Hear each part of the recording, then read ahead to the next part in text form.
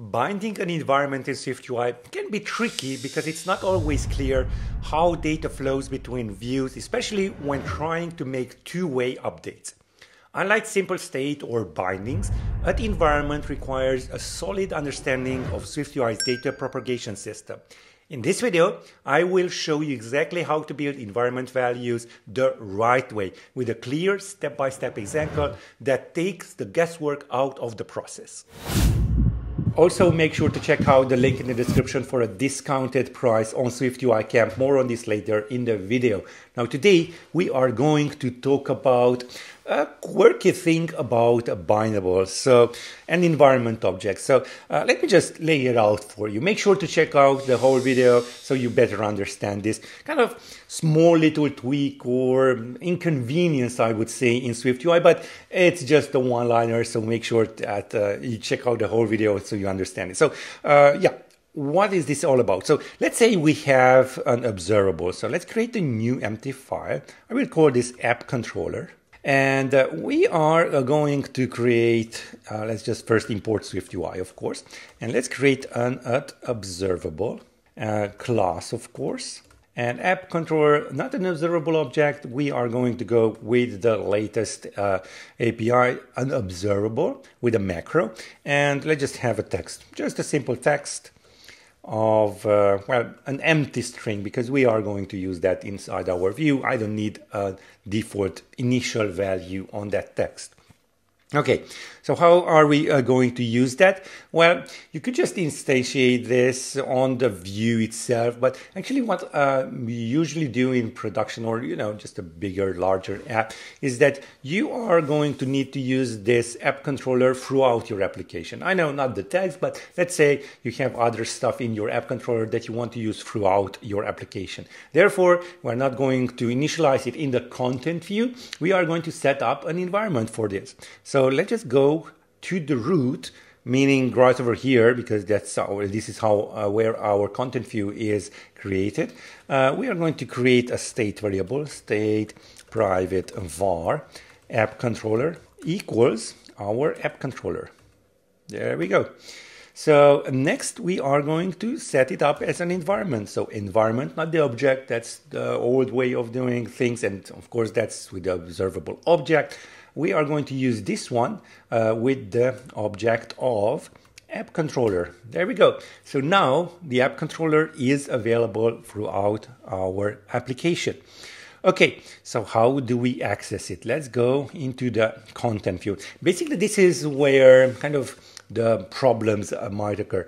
Let's take care of the first issue where we don't have any issues. So let's see. We are going to uh, access at environment and then app controller dot self uh, yes and private var app controller. Okay, so yeah, this is one way of uh, accessing our environment. So just class name dot self. If you want to use the entry macro and just go for the backward slash dot and maybe app controller like you do with the dismiss, go ahead and check out the playlist in the description.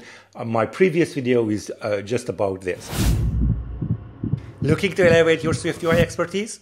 SwiftUI Camp, my highly acclaimed cohort-based Zoom bootcamp, offers a fast track to mastering SwiftUI and building production-ready iOS applications. For a limited time, enrollment is available at an exclusive 80% discount, valid until May the 7th.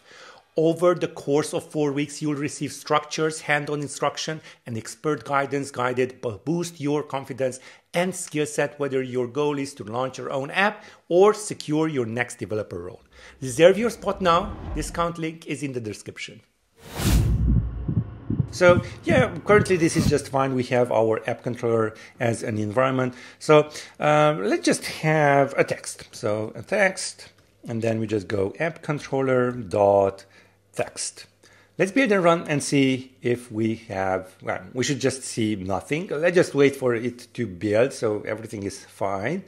There we go. So yeah, that's fine. Initial value is an empty string. So uh, let's just have hello for now. Let's build and run once more and we should see that hello right over there. Just wait for it. There we go. We have our hello.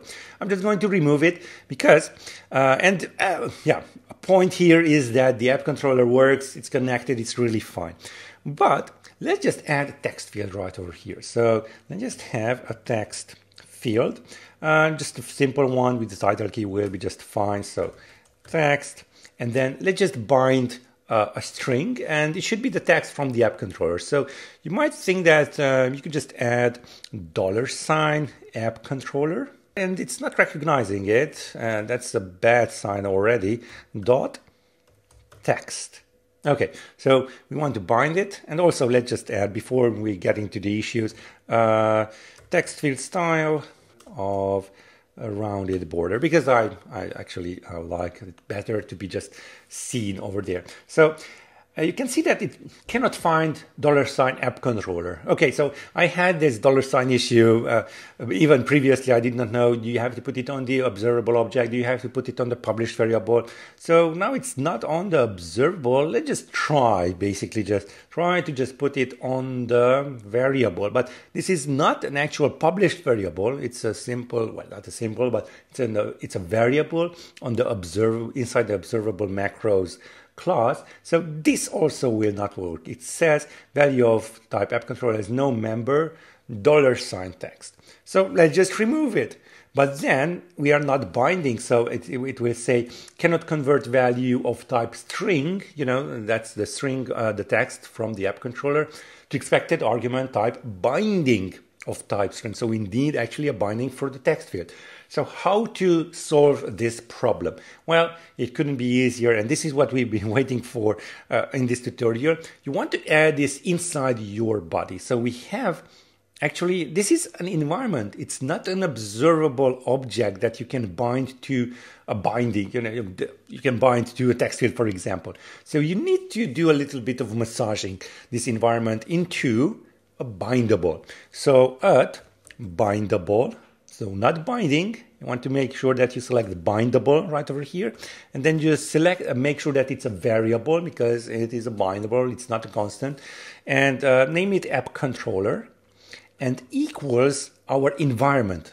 As you can see, this is with green, this is this one. If you highlight it, you will, well, it's not highlighting it correctly. Yeah, because we still have this error, but uh, let me just add the dollar sign back over here. And yeah, as you can see, it's highlighted. This is the bindable. And if I highlight this one, it's the environment. So this is how you are going to actually bind a string value in our case from your environment. So let's build and run and see how that looks like. Yeah, let's just test this out. So it's, it's actually working. So let's just type something in here, Ada, and indeed it is working the text is being updated in the uh, observable uh, class. And uh, yeah it's also being reflected on our text right over here. Now if you do like these types of videos go ahead and check out the link in the description where you can uh, master SwiftUI in just four weeks. The cohort is starting in may and you have a pretty nice discount. The link is down in the description